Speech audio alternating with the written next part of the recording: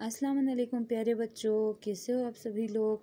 इंशाल्लाह खैर खैरियत से होंगे। तो चलो हम आज का क्लास शुरू करते हैं। ये आप लोगों का चैप्टर नंबर एलेवन है वाटर और हमने बुक रीडिंग कंप्लीट कर लिया है। तो हम आप क्वेश्चन आंसर सेक्शन पे आ गए हैं बच्चों। और सबसे पहला हम चलो शुरू करते हैं। सबसे पहला है हमारा write to T for true and F for false हमें ट्रू और फॉल्स लिखते जाना है।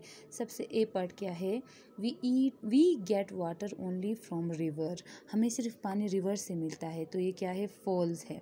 ये क्या है बच्चों? सॉरी ये क्या है? फॉल्स है। B part rain water seeps through the ground rain water ground के अंदर चला जाता है सीप होकर। ट्रू है, ये ट्रू है।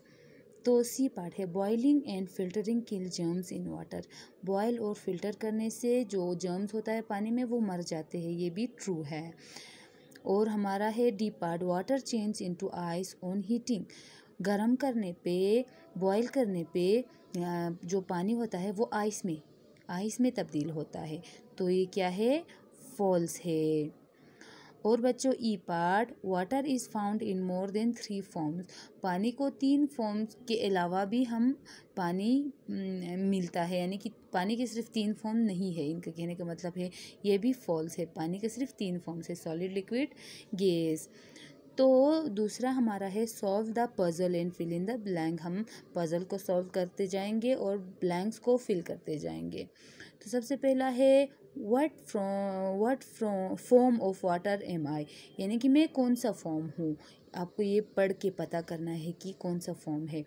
You can hold me if you hold me for long I will melt ये कह रहा है कि आप मुझे पकड़ सकते हो, लेकिन ज़्यादा देर तक पकड़ के रखोगे तो मैं मेल्ट हो जाऊँगा, पिघल जाऊँगा। तो ये सॉलिड फॉर्म है, यानी कि आइस फॉर्म है।